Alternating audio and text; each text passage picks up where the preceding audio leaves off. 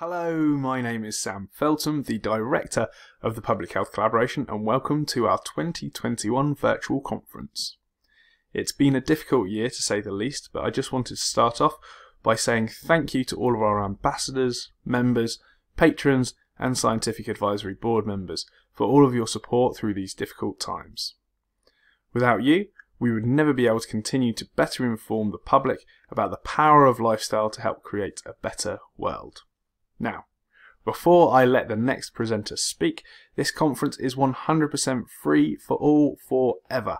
However, if you find the content here today valuable, uh, then please consider a £2 donation or whatever you can afford via www.phcuk.org forward slash donate. Or if you're in the UK, you can simply text PHC to 70660 to donate £2 directly from your phone.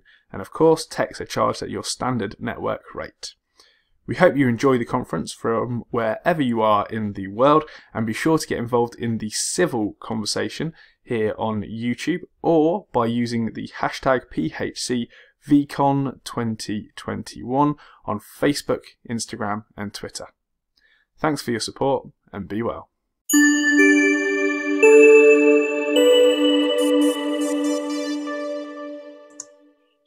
Hello, uh, my name is Susan Fairlie, and in this brief presentation, I'd like to share some of my thoughts with you about ways we can improve the odds of getting the low carb message out to others. I'm a retired chief nurse and now spend most of my time supporting NHS organisations, particularly in primary care, with quality improvement and the human dimensions of leading change. I'll say more about my personal story later, but essentially, I'm keen to support the public health collaboration and in this small way, I'm hoping to make a contribution. Um, perhaps it'll help with our thinking about leading large scale change. Uh, on this next slide, um, you can see, if you look closely, you'll see the sunset on the horizon. And, and that's a bit of a bit of a fun way of actually trying to say if you want if this is where you want to get to we need to break away from this path that you can see the tried and tested path um, if we keep going around, we're going to keep getting the same old results, keep going around the same path. So it's hard to commit to a scary new path that questions the usual ways. It's hard to stand against tradition. There's always opposition from the system and the people within it who don't want change to happen, those who like the comfort of tradition. But if we don't try new things, we will continue to miss opportunities and we won't get to see that sunset. And so on this next slide, you can see uh, some global research that was undertaken by McKinsey in 2008, which identified that 70% of change problems fail largely due to the lack of attention to the human dimensions of change.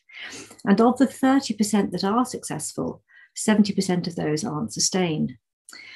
So, when we're thinking about mobilizing individuals and groups towards a vision of a new future state, we need to consider a raft of interventions and aligning it with culture to identify how we want things to be done around here.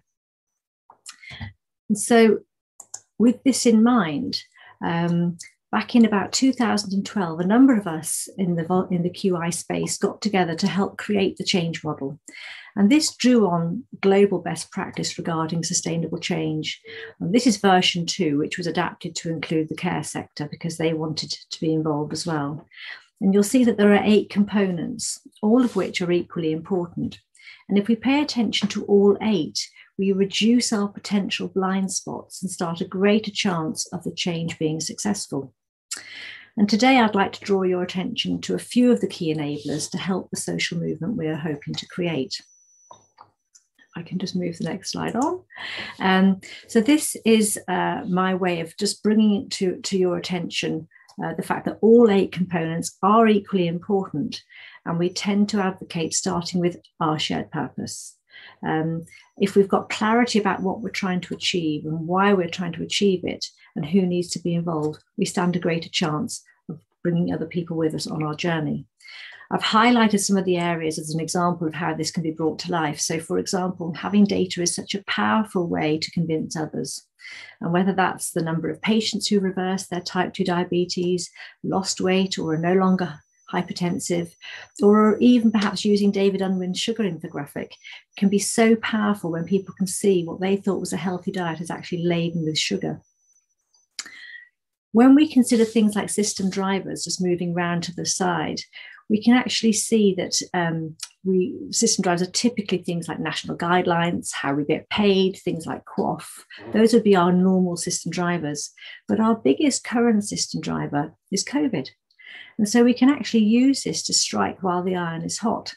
And in part, thanks to Boris, there is growing interest now in the low carb movement to help reduce obesity, which we know is a known risk factor for COVID. Then moving back around, um, how we engage others to support change require, requires some skills around storytelling. And how can we create a compelling narrative so that we can all lead and all influence, irrespective of hierarchy? This is not about position power. And thus, together, we can create the social movement to help ensure wider spread and adoption. So, in this next slide, uh, if I can move it, um, you can see, I won't expect you to read it all, but basically what this slide is saying is that you can seldom lead, lead, lead large scale change on your own. We need to apply social science research to motivate others to join us. It requires us to be an enabler and involves connecting different people and organizations, usually over whom we have no authority. So it's really worth trying to find the key influences in your community to help you spread the word. Again, this is not about positional power, but about people who are good at networking and who are well connected. And so here we can see, and move it on, we can see um, the power that we've seen recently that fury and indignation can have on society, galvanizing people around the world to take action to create the Black Lives Matter movement. Such social movements typically begin with a wrong, a small group of people caring and daring to hope that they can create a movement for change. In a similar manner, Greta Thunberg has created much greater awareness of climate change, and not just amongst the younger people. And we know that so-called, so-called social influencers get paid huge amounts to promote products because they have a large reach. Some have millions of followers. But we can also create a desire for change by making it fun the recent Jerusalem dance has gone viral. We've even seen the Irish Garda and Ryanair cabin crew taking part, as well as nuns and monks. And some of the, even my colleagues within the primary care faculty have been doing this. Um, during these difficult times, it was seen as a way of coming together virtually to lift our spirits. And it's really caught on in a similar way that the Ice Bucket Challenge did to help raise funds for motor neurone disease a few years ago.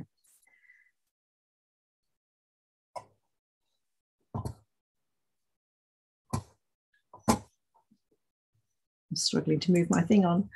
There we go. So I'd like to introduce you now to this is the influence model, uh, which sets out um, four ways of, of um, influencing other people. It's taken from the psychology of change management, uh, and it suggests that there are four reasons that, for basic conditions that people have to have met before they will change their behavior. I'll change my mindset and behavior if I've got a good reason to, if I see the point of the change and I agree with it, at least enough to give it a try. And that could be sometimes for a charitable cause. Um, uh, I'll change my mindset and behavior if I have role models. I can see colleagues or friends that I admire modeling that desired behavior.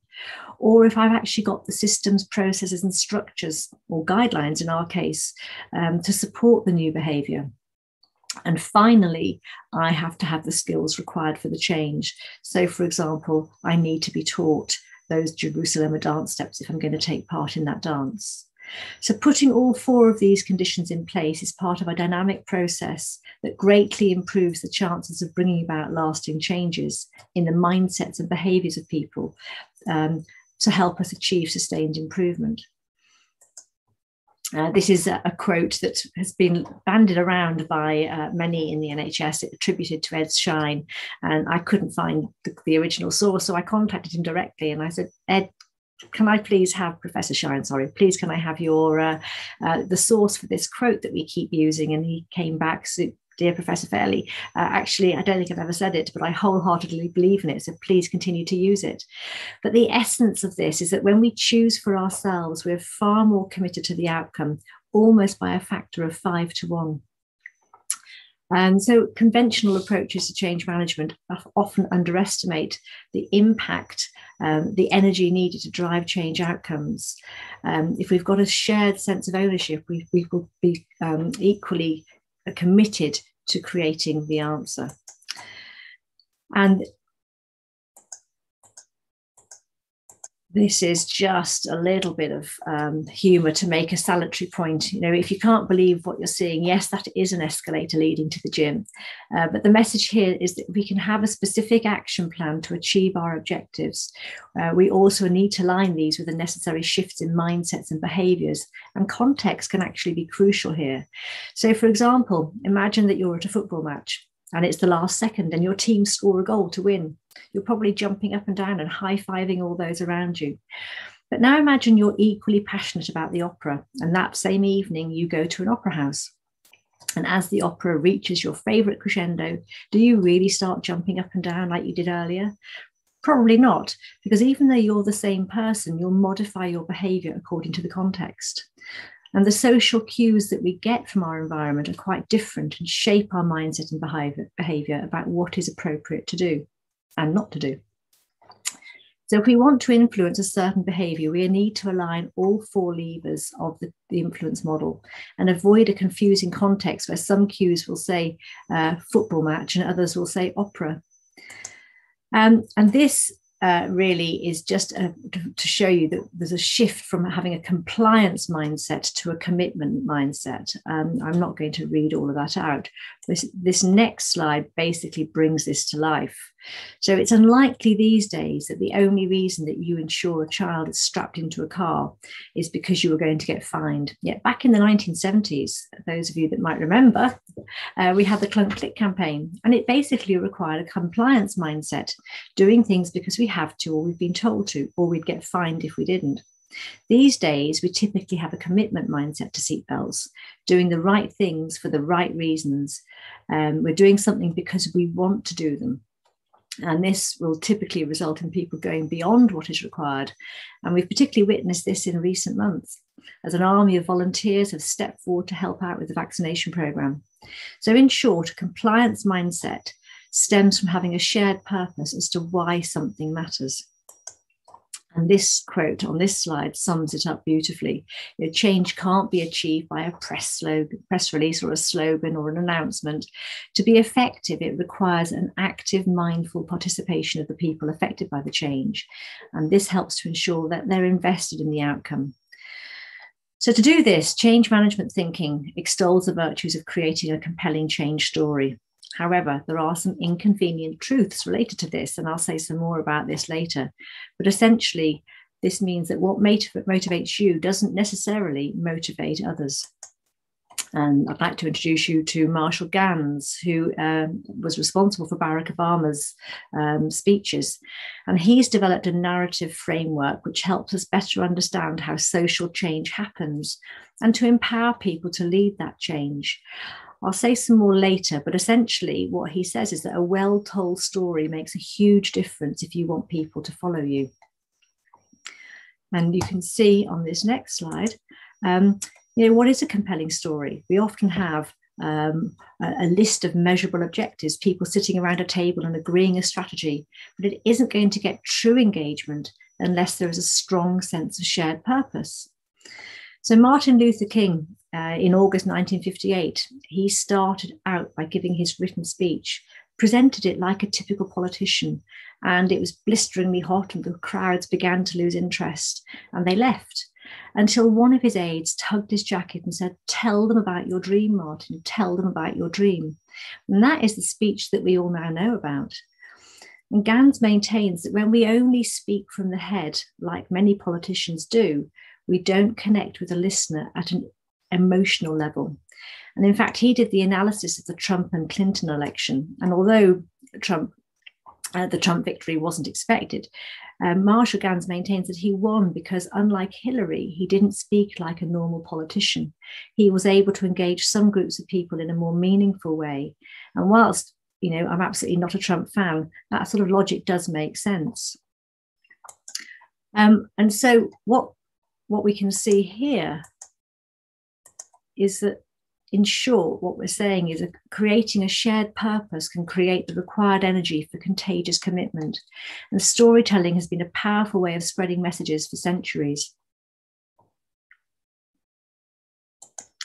So there are some key elements, um, key components to storytelling. So, for example, um, when we hear our colleagues like David Unwin and Campbell Murdoch and Gail Jerry and Kazar all sharing their successful stories and case studies, we can see the power. And using their photographs and charts and graphs helps to bring this to life. They've managed to incorporate all of these elements to create light bulb moments for the listener. So Ganz suggests that we need to consider these three areas uh, when we're thinking about leading change. Effectively, we're talking about head, heart, and hand, with all three being required. And this is the framework that Ganz uses. And basically, he weaves together three types of stories into a single narrative the story of self, the story of us, and the story of now. So, the story of self is effectively saying what calls you to do this work. Um, it tells a personal journey and really should capture what Ganz calls choice points, the essential experiences that led you to this point in time. And ideally, it's a vivid series of anecdotes that paint a picture of what you believe and how you came to believe it. And then moving round to the story of us, while the first story is about you individually, this story locates you in a collective identity. What does this mean for us as a community? And then the story of now. So, what is happening beyond our community that calls us to action? And this third element gives a public narrative a sense of urgency. Public narratives can take many forms written, oral, multimedia, etc. But what's essential is that they're crafted as stories and that they're shared. So, this time doesn't really permit me to do this justice, but uh, as an example, this is my personal story. So, about 25 years ago, I was a practice nurse manager and I used to run the cholesterol clinic in the days before we had nurse prescribing. And so, we had to initiate and titrate drugs under the auspices of the Crown Report and following national guidelines. And we had tremendous success in many areas. And so, despite raised eyebrows in many quarters, we set up group consultations and we trained nurses in minor ops and we employed healthcare assistants. As the nurses' role grew, we had to actually create other roles. of course, those things are now quite normal, but at the time it wasn't. And in 1999, we went on to win Doctor of the Year and Innovation of the Year for our nurse led care. At that time, our practice was held in high regard for providing gold standard care. And even though I moved on to do other things, I spent the next 20 years eating what I thought was a healthy diet, the diet that I had been promoting to my patients all those years ago. So imagine my horror when my cholesterol result in 2019 was 8.5. My father, who had always been slim, fit, and healthy, albeit a smoker, uh, had died of a heart attack in his 60s. So I became pretty scared and I reluctantly agreed to go on a statin. At that point, I was working with a lovely colleague, and to spare him his blushes, he shall remain nameless. Uh, but he introduced me to the thinking about metabolic syndrome. And suffice to say, I did some research, went on and had a CAC scan, and finally had the confidence to come off the statin. Unfortunately, since going low carb and doing intermittent fasting, I've probably gone a bit heavy on the fats, and my cholesterol is now 11. But my triglycerides are good, and so I'm learning to accept this. The more research I do, the more I realize the value of this lifestyle. So, despite my previously strongly held views of a healthy diet, I've changed my mind, albeit I'm trying not to be too evangelical. And so then as we consider moving around to the story of us, this moves the story and its value from this is me and this is you into this being about us together. It can help people see how they are connected to each other, and shared stories create shared identity and challenges and shared experiences. Many of us are part of a community where we exchange thoughts, research, and queries in a WhatsApp group. Uh, there's a real sense of community. And one of the shared challenges that we're facing is how to overcome the mindsets of those who commission services and those who write national policy. The story of now helps us to consider why is it necessary? Why is it urgent at this moment in time? It's about motivating people into action, telling the story of the world as it is now and how it could be. It creates a sense of urgency and an opportunity to say, let's take action together. What will happen if action isn't taken? What will the future look like if we do this? What's the dream? It should also offer hope because hope can help overcome fear. We've heard David Unwin talk about that in the past. It really does help to have data and research to support your story. So, for example, in the current pandemic, we know there's a clear link between obesity and impaired immunity. Even Boris is advocating low carb, so avoiding becoming ill with COVID potentially becomes our biggest system driver. Indeed, perhaps the biggest vaccine we can give ourselves is our ability to optimize our metabolic health. We've already seen how colleagues are creating a call to action. Um, this collaboration, uh, this conference, for example, how many of us are actually inviting friends and colleagues to join in various low carb groups or read certain books and watch videos and to start doing their own research using the current free CGM trials is actually enabling micro, micro research at an individual level. We're doing small tests of change, what we call PDSA cycles, uh, to see which foods can actually cause a, food, a, sugar spike. And for me, that's been absolutely fascinating. Um, there's a brilliant example um, on the on the internet. If you would like to have a look at it, I really encourage you. But this is effectively um, James Croft. Time doesn't permit me to show it to you now. It is rather harrowing, but it really is a brilliant example of a compelling narrative. He manages to hook the listener into his story, and you'll see how he uses all three elements um, that I've described to galvanize others into action and to help to want to change things. So if you if you can find that is the James Croft video, and I can always share the link if necessary.